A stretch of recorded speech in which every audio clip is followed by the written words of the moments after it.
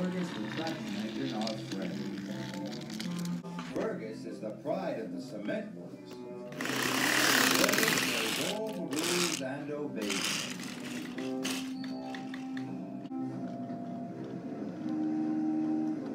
One day, Sir Topham Hatt brought devious Diesel to the cement works. I need Diesel to help for a while. Fergus, please show him around. Yes, said Fergus unhappily. He knew that Diesel could be trouble. Later, Diesel was being careless. Not like that, snapped Fergus. Do it right. Don't interfere, sneered Diesel. You don't know the rules, shouted Fergus. Diesel was very annoyed with Fergus and started plotting a devious plan. Later that day, he pretended to have news for Fergus. Sir Topham Hatt wants you to work at the smelters. Me? But I'm the pride of the cement works. Not anymore. Sir Topham Hatt says I'm better than you, so I'm going to stay here. It's not fair. I love working here. But he knew that really useful engines have to do as they are told. Fergus and his driver arrived at the smelter.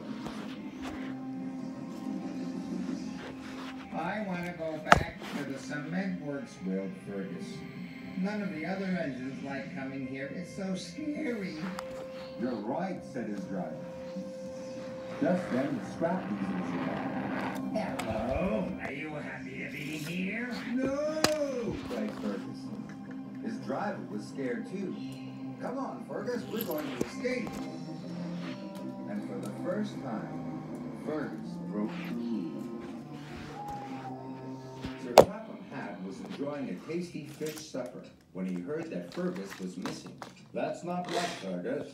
There must be something wrong. I will send Thomas to look for him.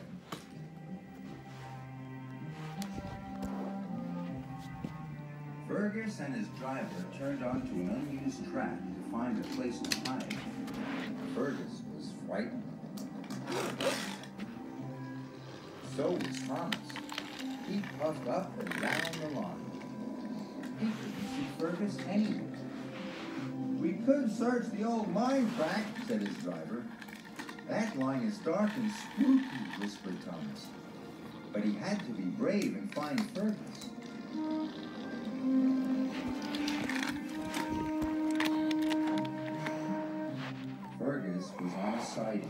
His fire had gone out. Then he heard a sound. It's an engine. He cried. Fergus, whistled Thomas. Whatever are you doing out here? Hiding.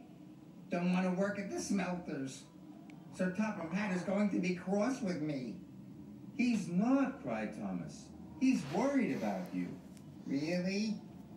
Of course, puffed Thomas. Fergus felt better. Thomas pulled Fergus all the way to the smelter's yard, where he knew Sir Topham Hatt was waiting.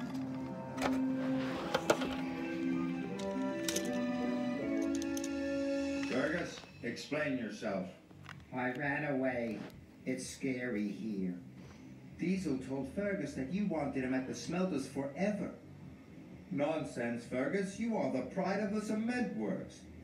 I shall send Diesel to the smelters, and you can go back to the cement works tomorrow. Oh, thank you, sir. said Fergus happily. Fergus knew he had a good friend in Thomas, and he was still the pride of the cement works.